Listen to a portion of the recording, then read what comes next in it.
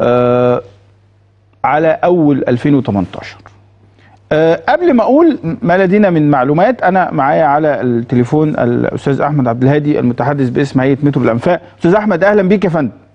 أهلا بسيادتك يا دكتور واهلا بكل سنة المشاهدين أهلا بيك. هل صحيح ما يقال عن إنه هيتم رفع التذكره في أول آه، في أول 2018 تذكرة المترو؟ لا هو إحنا حضرتك ما قلناش ما حددناش تاريخ بالظبط بس طبعا غالبا يعني الاتجاه رايح إن يتم زياده التذكرة. بس إمتى؟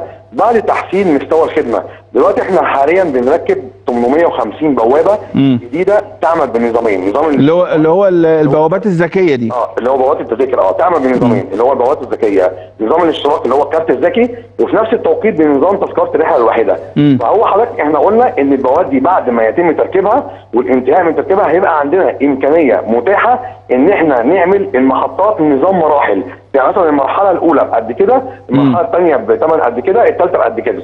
بمعنى إن مثلا ما ينفعش واحد يركب من محطة حلوان تذكره ب 2 جنيه مم. ويجي يركب الخط الأول ينزل محطة التحرير ويركب الخط الثاني بنفس التذكرة مم. وينزل محطة العتبة ويركب الخط الثالث بنفس التذكرة مم. وينزل محطة الأهرام بمصر الجديدة فاحنا قلنا بعد تحسين مستوى الخدمة بعد دخول محطات ال- الخدمة الجديده في خمس محطات هيفتحوا العام القادم اللي هي من محطة الأهرام في مصر الجديدة لمحطة المستشار هشام بركات اللي هي نزهه مم. 2 ده هتفتح العام القادم إن شاء الله وهنكون انتهينا من تركيب ال 850 بوابة هنكون انتهينا من ازدواج المسافة ما بين محطة المرج القديمة والمرج الجديدة وتحويل المحطة من سطحية لعلويه فإحنا قلنا بعد الكلام ده كله إن إحنا ممكن فعلا التذكرة لازم تزيد. صحيح. طب أنا أنا هسأل حضرتك سؤال. هو إحنا قدام ما يعني قدام ما يمكن أن نطلق عليه إعادة هيكلة أسعار المترو بشكل واقعي وعادل؟ يعني مش مسألة زيادة إحنا بنقول إنه كان في خطأ في التسعير الأول. أنا أعرف مثلا إنه التذكرة التذكرة اللي المواطن بياخدها ب 2 جنيه هي فعليا بعد ما بتضيف عليها الرواتب والصيانة آه، بتوصل حوالي 8 جنيه. يعني الدولة بتدعم 10 جنيه آه من أو 9 جنيه 10 جنيه.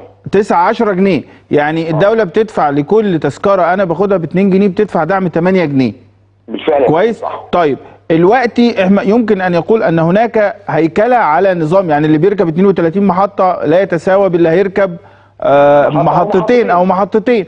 تمام؟ يعني أقصد أنه الشغل بيتم في وزارة النقل بهذه الفلسفة وبهذه الفكرة هو اتجاه كده فعلا اتجاه معالي وزير النقل إن هو يبقى فعلا بالفعل نفس الدراسة بتتعمل على هذا الأساس إن يتم نظام مراحل مرحلة أولى مثلا بدايتها 2 جنيه مرحلة ثانية مثلا من محطة كذا لمحطه كذا فهو ده اتجاه بيجي لنا من وزارة النقل هو ال- الرأي الأول والآخر بيبقى في إيد وزارة النقل.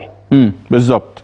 لكن بش- حاليا نعم. تصرف ب 2 جنيه مفيش أي زيادة في الوقت. الحالي لكن لكن أقصد إنه لم يتم تحديد موعد بعد. عندما يتم الانتهاء من ال 850 آه، آه، آه، بوابة إلكترونية وانه يتم تحسين الخدمة هيتم يعني إنه هذه الأسعار الجديدة للتذاكر.